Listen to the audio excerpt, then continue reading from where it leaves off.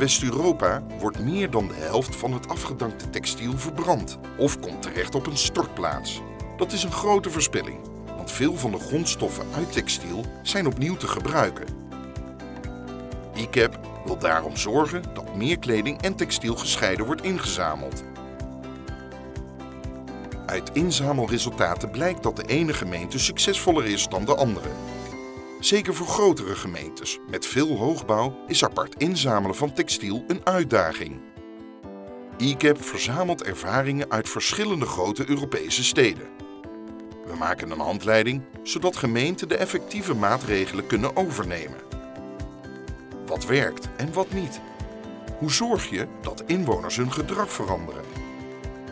Hoe ziet het financiële plaatje eruit? Levert het naast milieuwinst ook wat op voor de werkgelegenheid? We delen onze kennis en ervaringen met steden in heel Europa, zodat zij hun inzamelresultaten kunnen verbeteren. We gaan ervoor zorgen dat we al ons textiel hergebruiken of recyclen. Voor meer informatie ga naar icap.eu.com.